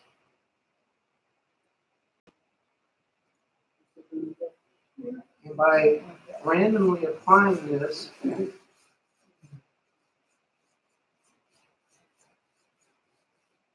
okay, I kind of get that. Now I'm gonna add just a bit of, um, because I want to show this as aged wood. I'm kind of going after, if you will recall, the middle board here that was kind of like this board here. It's kind of where I'm headed with it. I don't know. There you go.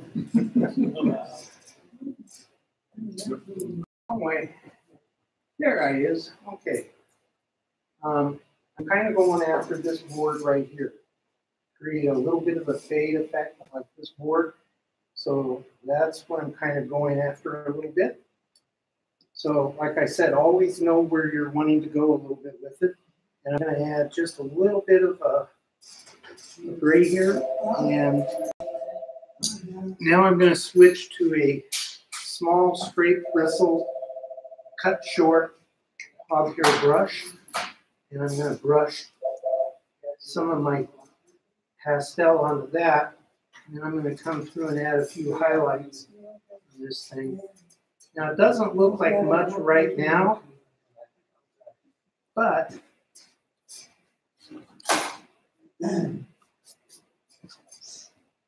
I add my solvent here. I'm gonna use a fan brush in this particular case. And the solvent is. This is the diasol, Or salt and sense. Yeah, the set. Okay, set. Gotcha. and it's my solvent for this. And I'm gonna just lightly drag it down. I'm going with the grain of the wood.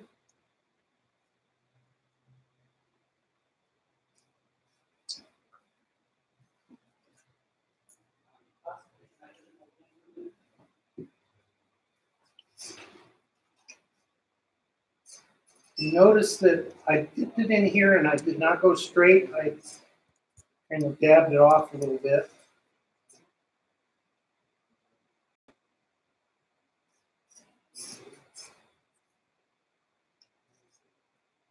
Yeah, I have to add a little bit more pastel to it.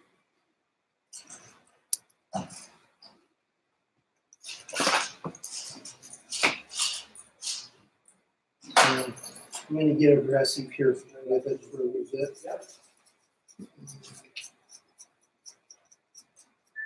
And the nice thing about pastels, you can't go wrong.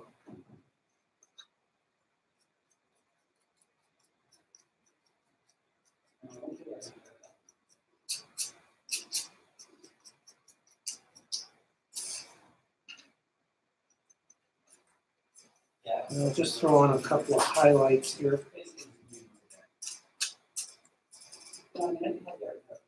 And fan brush again. And we'll see where we're at. And again, I noticed I dabbed off the fan brush prior to application. Okay, now we're starting, starting to get there. As I said, always do things in layers, sneak up on what you're after.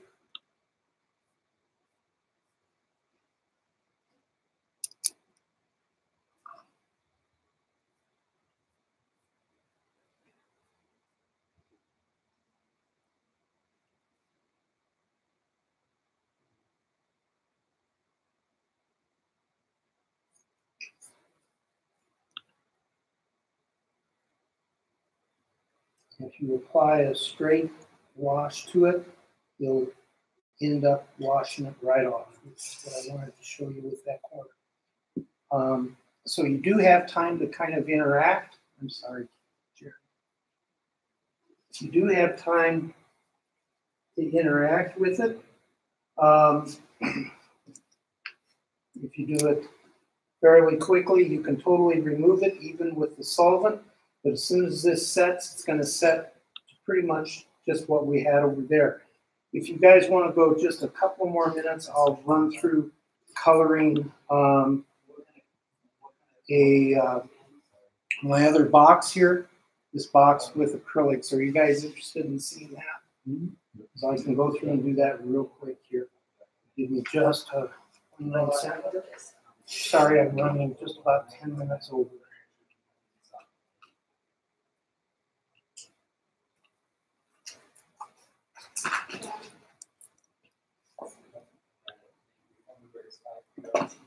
Um, one thing I will say right now, if you go through and really research the military guys and the gamers and compare them to us, what you'll find is that in general, the military folks and the gaming and figure painters are doing primarily gaming and military. They're doing their base coats in acrylics and then their washes and everything, they're using enamels. And so you alternate between enamels and washes, or excuse me, acrylics, back and forth to gain six or seven layers. And uh, so what you've got, if you'll notice, is I've got an ink, this is a, um, a Vallejo product. So I can use the inks as a base or anywhere for tonals. These remain inks remain extremely transparent. So they're great for blending and for tonal quality changes. Uh, of course, your regular paints are opaque, but your filters, like this is a filter, and then this is a wash. But both of these products you can use kind of like acrylics, but they're enamel. Okay, your solvent, you do have to use terps and things like that. They have a smell compared to the, the other things, and they smell wretched. But they work totally different uh, in respect over the acrylics than an acrylic wash would work. That being said, I can't tell you exactly how it will affect you. You're going to have to go in and play with it a bit. For me, it has to do with how they cool and how they flow from higher recesses to lower recesses. So if I wanted to take uh, a wash here, the wash is generally applied right out of the bottle. And if you've got a wash product, otherwise you can dilute it down. If you're using an oil paint to make a wash, make sure to start setting it up about three hours beforehand. Put a dab of oil paint on a piece of cardboard, and let it sit there. The reason being is you want the linseed oil uh, to leach out of that pigment so that when you go to apply it, the pigment doesn't thin way out and that slows down the drying time, further increasing how it layers and thins out. Okay, that's how you can get some fairly smooth strokes with it. Um, but that's not what you want in this particular case, so you would thin it out. Um, but if I wanted to apply a wash to this, I would go through here and just kind of paint it up and take my wash and apply it directly to the model.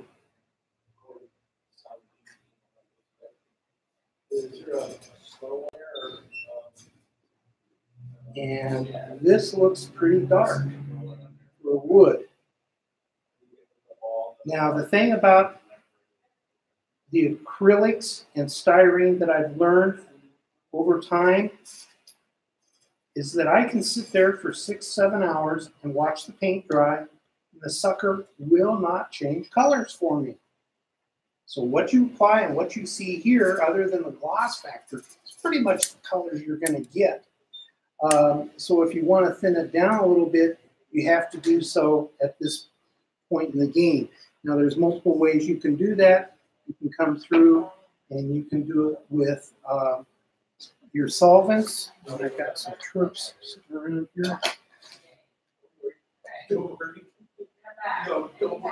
And um,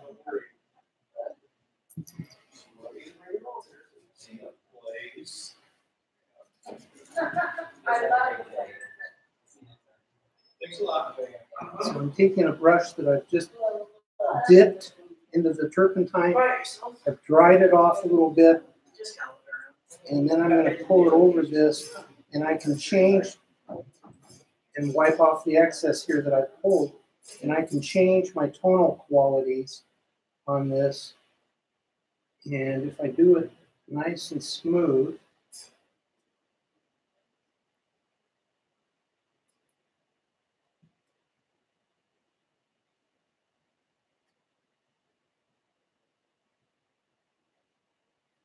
wiping off the excess that I'm pulling off. I can introduce all sorts of various tonal qualities. Okay.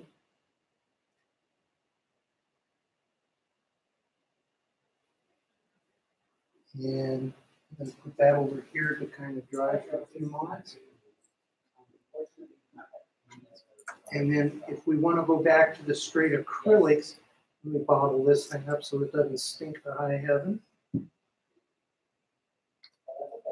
My point being is that with the enamels, they, you can treat them just like the acrylics.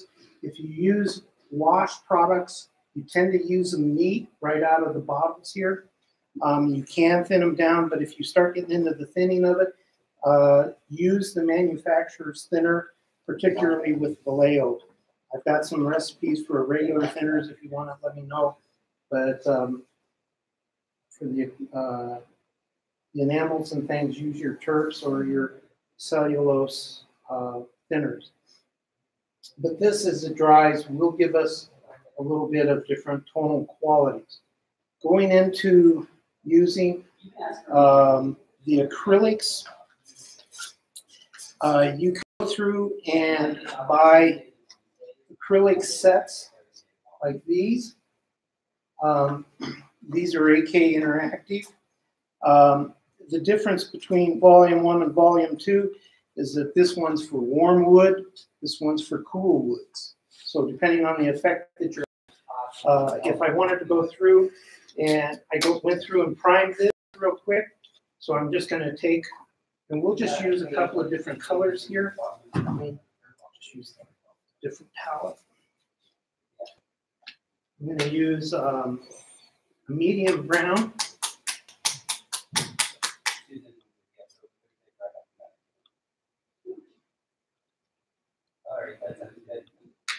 and light gray. Are you guys all familiar with dry brushing? If I say dry brushing, everybody knows that technique. Medium brown and use a light brick. So,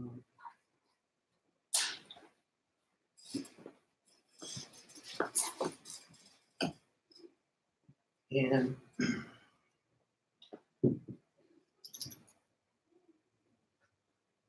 um, one thing I did not show you, because I've been waiting for the bricks to kind of dry, but um, was the use of those ink pens, but I think you guys understand the ideas behind that.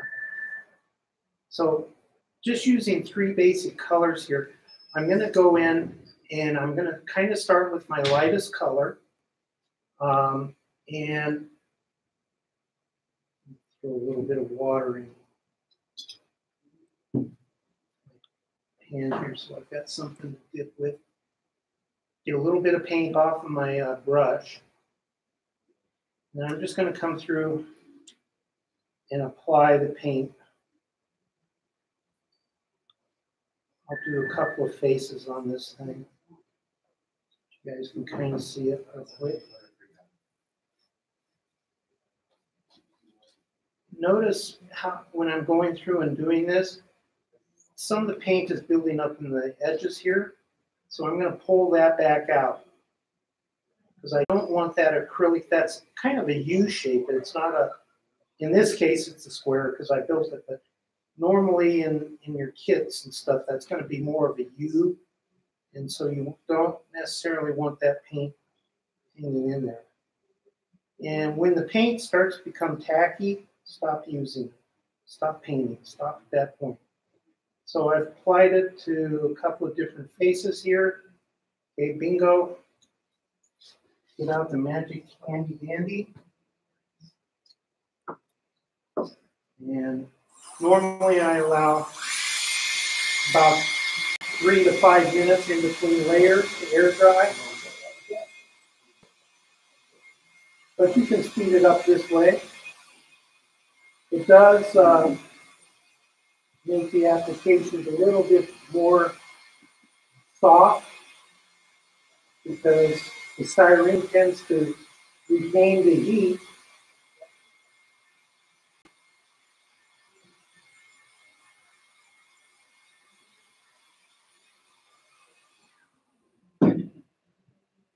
Next, I'm going to grab a, a little different brush bad brush technique. Don't let your brushes sit in anything heads down like that is. It's going to shoot me when I get home. And this one I thinned down a little bit more and I'm applying it. Um, and if you'll notice, um, I'm just kind of getting, um, got too much on there. I'm using more, almost a, a glaze. It's not, a, it's not quite a wash.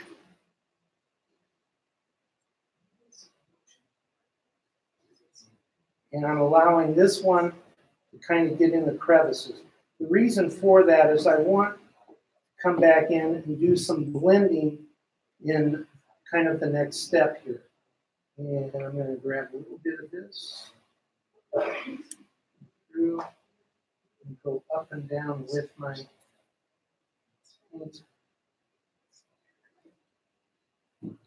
Following the grain lines of the wood. Okay, bingo.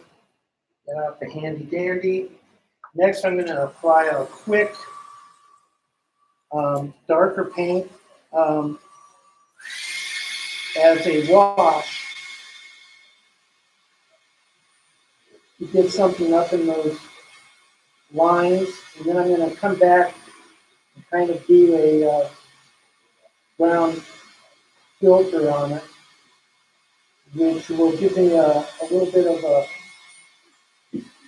that will move it from being this cold wood to more of a warmer wood.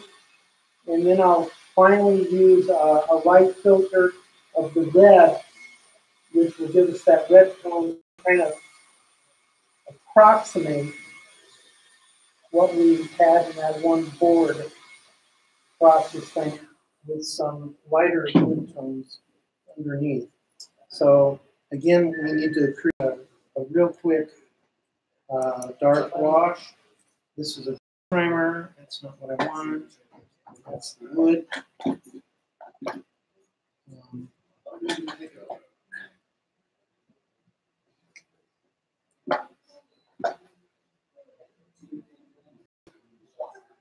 I'm gonna use the wood wash or the black that I wanted over there. So I was gonna pick it up here at the shop. They did not have it in right now. So I'm gonna use a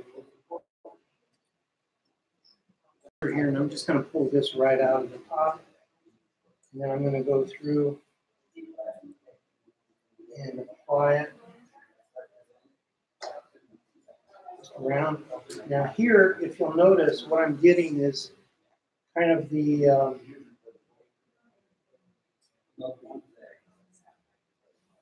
filter to, um,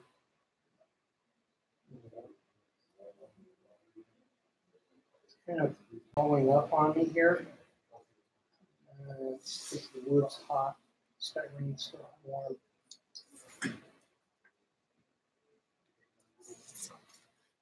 This is giving me that filter. And a, a, a better way of doing this, quite frankly, and I can't do it because I'm doing this real quick, is to come in with just a little bit of your water or a uh, airbrush thinner and lay down just a thin, like just a damp layer. And then it'll help it flow into the corners better.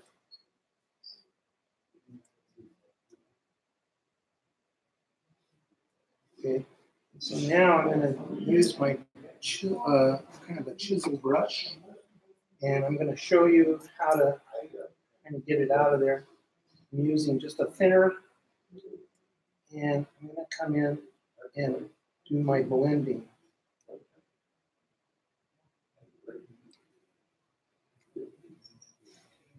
And in this case, I'm trying to go with the wood. I'm trying to get rid of the sharp colors. Heat in the styrene makes this a little bit difficult. it Wants to dry a little bit faster.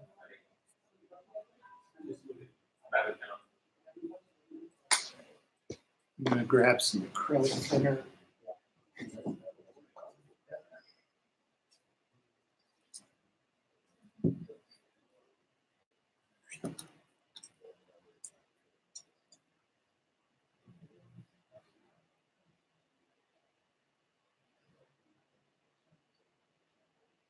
Now you can kind of see how this is starting to uh, a little bit. This end just styrene was just flat out right too hot when I applied it. I'm not gonna get any. Sorry. folks. Had to have a failure sometimes.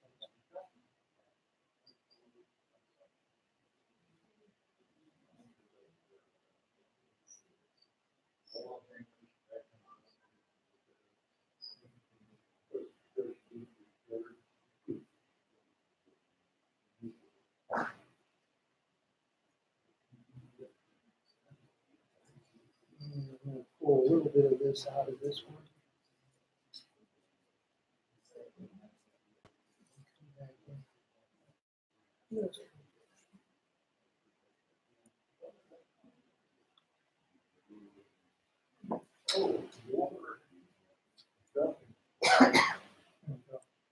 Got some weathering here on that one. So I've got a dark, dark side, a light side is what, what we got going. I'm gonna dry this real quick. At least get quasi dry.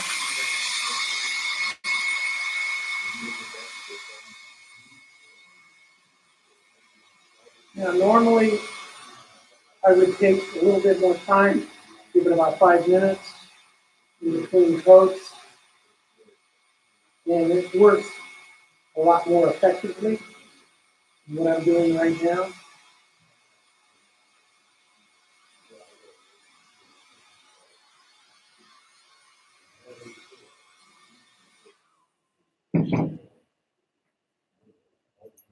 And finally, I'm gonna come back in with the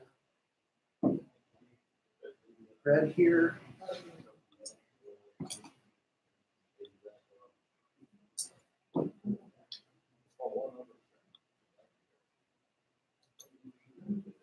This is a soft brush. Excuse me, red, with the brown. I'm making, a- again, a little bit of a wash with this.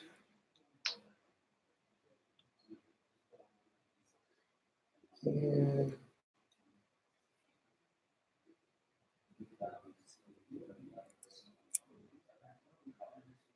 this world is kind of hard to.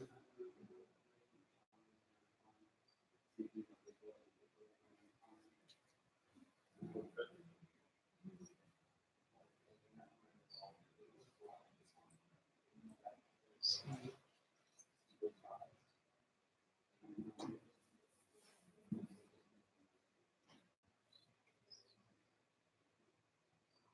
where I wanted it to go.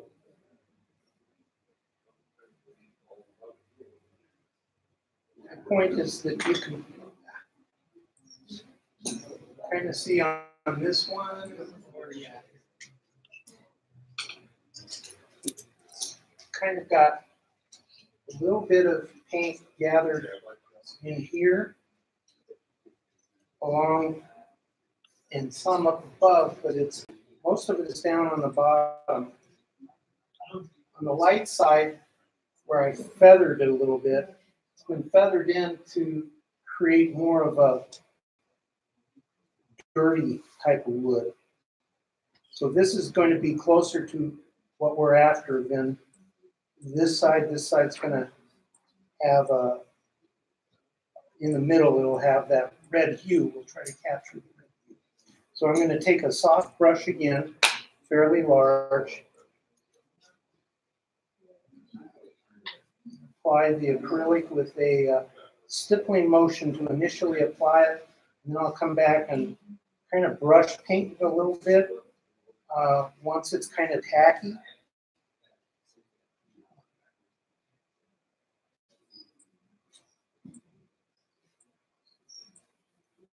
And if you notice, it's kind of wet, kind of got it flowing.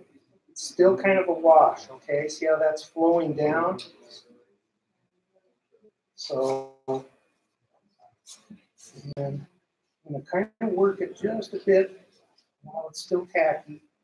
So it gets to a tacky stage. That's gonna give me that glaze, if you will, this particular case. And I'm gonna pull just a little bit more out of where it's gathering in the seam, more like a wash. So it is a wash, so it's acting like a wash. We'll think about it here a little bit, pull it up, make it tacky. Just trying to spread it out.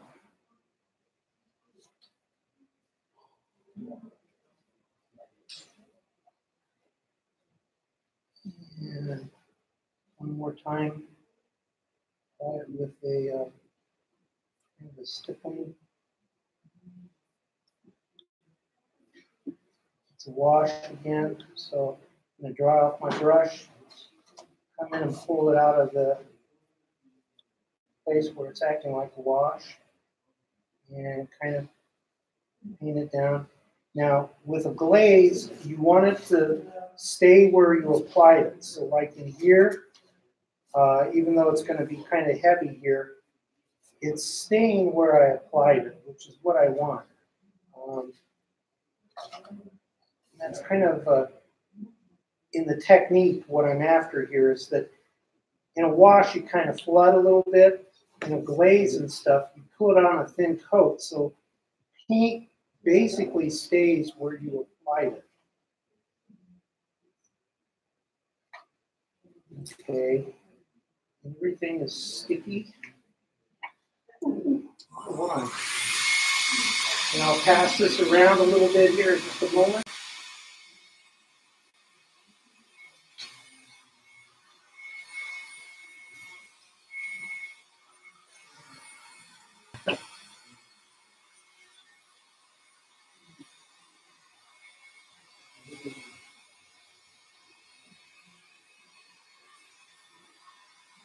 What I didn't quite get the entire color.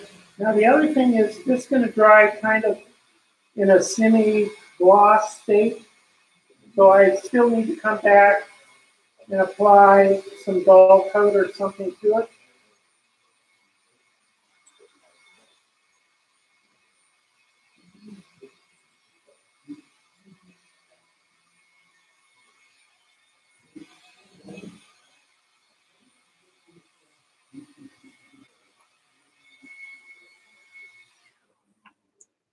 Gonna touch this up here real quick and dry it real quick. Kind of pass around. I'm gonna try to get this to apply through this middle section. This would be a targeted type of glaze because more targeted filter. What I'm trying to do here is just change the tonal values a little bit.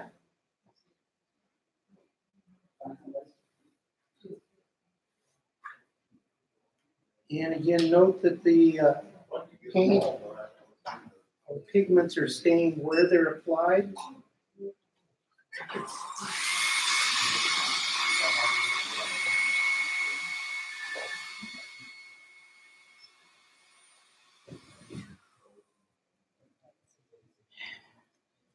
Find my toothpick holder. Burning my fingers, sorry.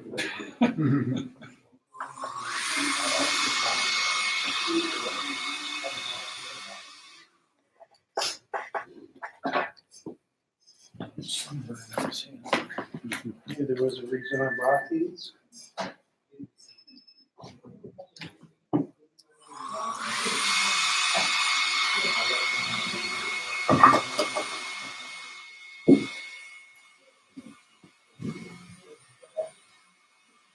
kind of hard to see in this light.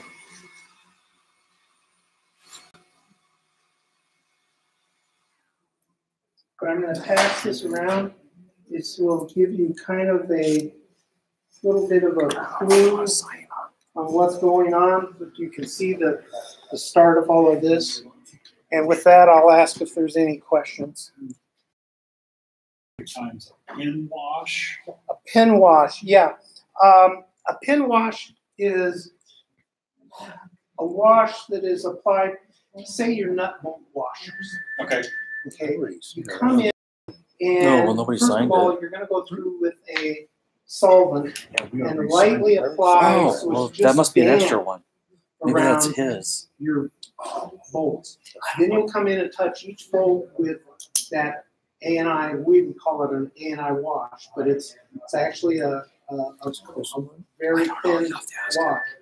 It's gonna tend to flow in and flow around that seam, create that uh, opaque brown shadow, brown black shadow, okay? Then where you've got a little bit of overflow, um, you're gonna let it dry ten minutes or so. But before it's fully cure dry, it's the trick. Um, you're gonna take some solvent on a a stiffer brush, I tend to use a, a chisel or a flat to come in and, and clean up any excess that you've got sticking out. And in the process of also kind of cleaning that up, it's going to feather that out. It's very, very subtle. But what it will do is enhance. Um, and until you do it, it's hard to explain. But it's kind of a light touch, but kind of doing that light touch and reactivating the paint a little bit there, your wash a little bit, and it'll feather a little bit, as well as leaving a, a more definitive line. And so that's really what a pin wash is. In the military world, they call them panel lines. Uh, Oh, so, okay, okay. uh, Yeah, panel lines, seen reference to yeah, that. seams, things of that nature. In our world, um, things like around a, a, stock car with the metal bracing, okay, any of those metal braces. In any place you're trying to create shadow, or underneath a uh, hangers for the door hangers. Um, another good place on a, a structure is around downpipes, uh, downspouts, um, eaves, edges, things, uh, things of that nature. Okay, that kind of answers your question. Anything else? Best way to set, you touched on it briefly, but the best way to like uh, preserve weathering powders, so like we hit it with dull coat, it disappears. And Right. tons of that problem. Now I'm reluctant to even do anything at all other than just weather it and set it and forget it. Uh-huh. Um, but I'm worried about people that do modulars and they pick these things up, you know, and they're like, oh, could you go about it? They're really scared to. Yeah, no, that's why I'm saying you can, depending on the techniques that you're using, you can use uh, something like a um acrylic medium to help set it, but those tend to be a little bit tricky to use. Uh, so that's why I've been experimenting with something thinner that will act as a carrier and get them down into the grooves, as well as not obliterate the grooves. That's the trick, uh, because you want your other washes and things to reflect those shadows. You don't want your wash totally obliterating all of that. And so that's why I'm saying the um decal uh, solvent setting solution here um, is uh, actually turning out to be very, very effective uh, for setting the pastels without really affecting the colors of the pastels. Now, pastels, unlike acrylics, when you apply any moisture to them, they're going to get 18 dozen hues darker. And you can sit there and literally watch them brighten up and come back to life as the uh, solvent uh, evaporates. But you felt it and it doesn't come off in your fingers and everything. And so far, it's been through about 25 people handling it, and I haven't seen anything really come off when I applied it. And those were just a bunch of pastels applied just like we did here, just a So little bit more you run it effective. through an airbrush for like a large, like a building, you know what I mean? Say like a large coal mine or something like that, where you weathered it top to bottom. You know, it's kind of a larger application. When you say run that through an airbrush. To, No, I would not run pastels through an No, airbrush. Talking about this. Salt set. Salt, this, I would actually, as I'm applying my pastels, I would apply this with the As you solvent go. right as you're applying them, just like I showed you here, and allow it to dry. Uh, and a- as I wanted to show a little bit, and I think I did, you can come back and modify your colors. You can blend it a little bit. You'll just have to play with them. Um, and the trick, though, is contrast and remembering that you're going from dark to light uh, and that that's you know that contrast of the dark to the light where you've got them concentrated being dark or more opaque and moving it to more of a light thinner um, basically the pigment powders the particles are not as close so they're either condensed or they're farther apart and that's just something that a light touch with a brush will teach you how to manipulate that because with this stuff You want it to get, there's a stage where it's kind of tacky fairly quickly. Uh, and you'll feel that pull on the brush. And you'll have to work with that and experience it. But once you do, you'll catch on very quickly. And it's kind of like riding a bicycle. Once you get the basics to it, then you can start doing the one wheel bicycle, holding it up, and, you know, advance with it, and you'll start playing with it and really advance quickly with it. Pastels, however, do not be afraid of using them.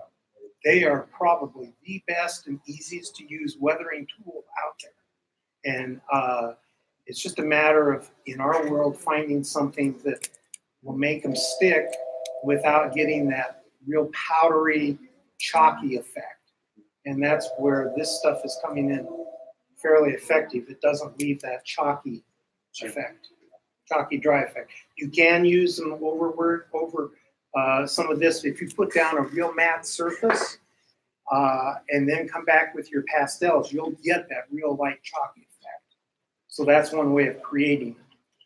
Uh, just depends on what you're after. That's it. Kris, thank you I very much. apologize for running late. All right. One, one thing I might throw out, uh, since we're talking uh, styrene and, and, and plastic and plastic modelers, there's an organization called the International Plastic uh, Modelers